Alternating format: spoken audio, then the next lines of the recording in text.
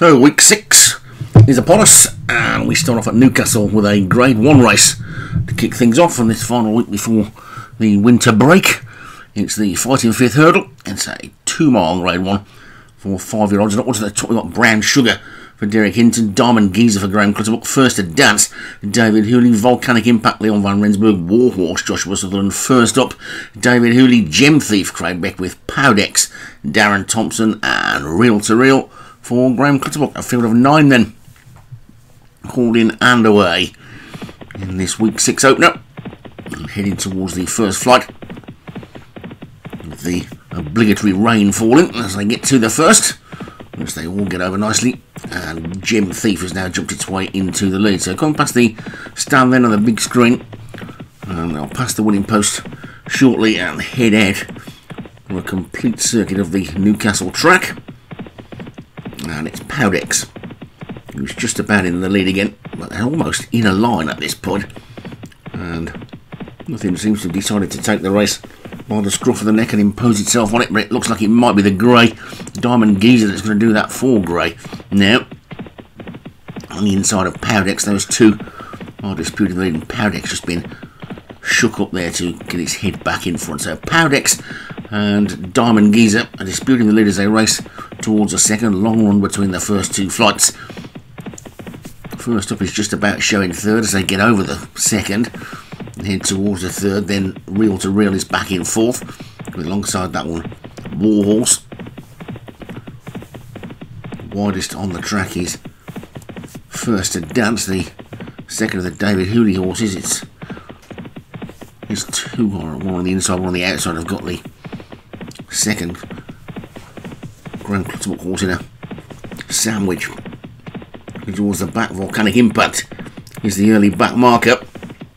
Mm, I say early, they're all, almost halfway through the race. They've only jumped two flights. They get over a third now, and they're all over that one. Okay, and Powdex has suddenly opened up onto a five length lead. So Powdex is now five lengths clear as they get over the fourth. These flights will be coming up a bit thicker and faster now. They've still got four more to take, and they've got less than a mile to race. And it's Powdex who's five clear of Warhorse, who's now moved into second. First Dance is in third, and then first up is fourth. Diamond Geezer is next, then Real to Real. Brown Sugar is after that one. Gem Thief and Volcanic Impact. The back pair as they head down towards the fourth last flight with Powdex in the lead, but about to be joined by Warhorse, who's moving through comfortably in second. Then comes Real to Real and First Dance, and first up after that one.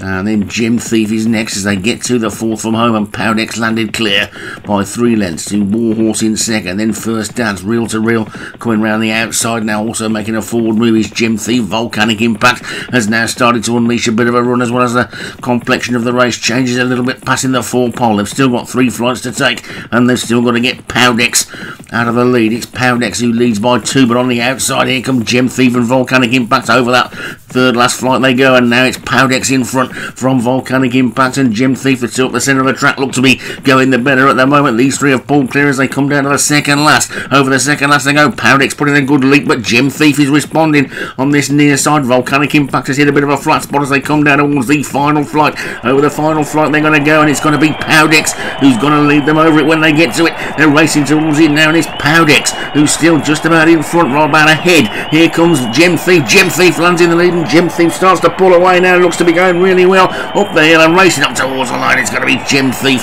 who's going to take this one pretty comfortably from a fast finishing first up. Then came first to dance and Walls, Diamond Geezer, Powdex dropped away. And it's a win for Craig Beckwith and Gem Thief.